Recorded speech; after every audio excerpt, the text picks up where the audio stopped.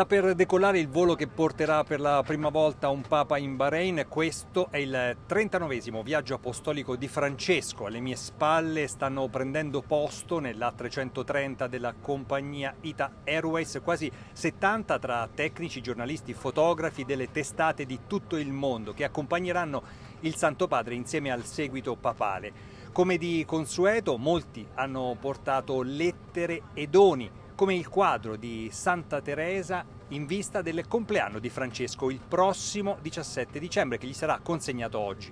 Il volo durerà circa 5 ore, sorvoleremo Italia, Grecia, Cipro, Egitto, Giordania, Arabia Saudita e Bahrain. Occasione della visita è il forum dedicato al dialogo per la coesistenza umana tra Oriente e Occidente. Un altro passo dunque del successore di Pietro nel solco dell'incontro. Tra gli eventi principali di questa visita la Santa Messa presso il Bahrain National Stadium e l'incontro con i giovani nella scuola del Sacro Cuore.